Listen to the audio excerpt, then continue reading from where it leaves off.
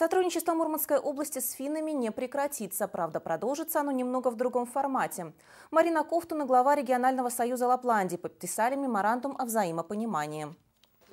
С Лапландией нашего региона отношения налажены давно. Изначально областное правительство сотрудничало с губернской администрацией и региональным союзом Лапландии. Однако в 2010 году Институт губернии Финляндии упразднили. Отношения между Лапландией и Мурманской областью пришлось искать новый формат. Итогом стал меморандум о взаимопонимании, который подписали губернатор Марина Кофтун с одной стороны и глава регионального союза Лапландии Мика Риипи.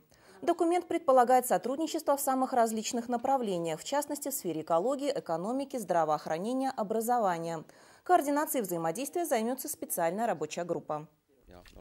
С финской стороны будет широкий представительский состав. В состав рабочей группы войдут все органы регионального управления. Региональное управление Лапландии, Центр экономики, транспорта и экологии Лапландии и также торговая палата, которая представляет интересы бизнеса.